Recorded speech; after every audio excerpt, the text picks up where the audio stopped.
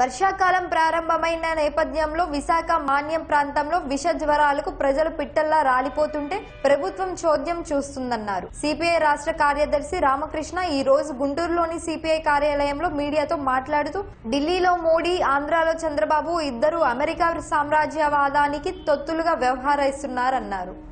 మన్యం వీరుడు ఎక్కడైతే పెద్ద ఎత్తున పోరాటం చేసి తన ప్రాణాల తృణప్రాయంగా అర్పించాడో ఆ ప్రాంతంలోని గిరిజనుల సమస్యలు డెబ్బై ఏళ్ళ స్వతంత్రం తర్వాత కూడా పరిష్కారం కాలేదు.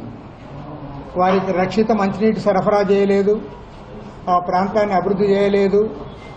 విష జ్వరాలతో ముఖ్యంగా వర్షాకాలం ప్రారంభమైన నేపథ్యంలో వారు మలేరియా గురై విష జ్వరాలకు అక్కడ లోబడి ఇవాళ పిట్టల్లా రాలిపోతూ ఉంటే ప్రభుత్వము చోద్యం చూస్తూ ఉంది తప్ప చేసిందేమీ లేదు.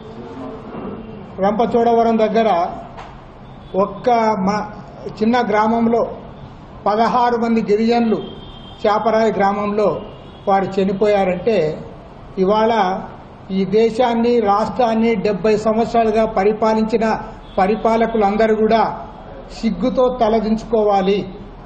ఢిల్లీలో ప్రధాని నరేంద్ర మోడీ రాష్ట్రంలో ముఖ్యమంత్రి చంద్రబాబు ఇద్దరు కూడా అమెరికా సామ్రాజ్యవాదానికి తొత్తులుగా పనిచేస్తూ ఉన్నారు తప్ప ఇవాళ ఆనాటి స్వాతంత్ర సమరయోధులు ఏ ఆశయాల కోసమైతే తమ ప్రాణాలు అర్పించారో ఏ ఆశయాల కోసమైతే జైళ్ళకు పోయారో వాటన్నిటి కూడా తుంగలో దొక్కుతా ఉన్నారు.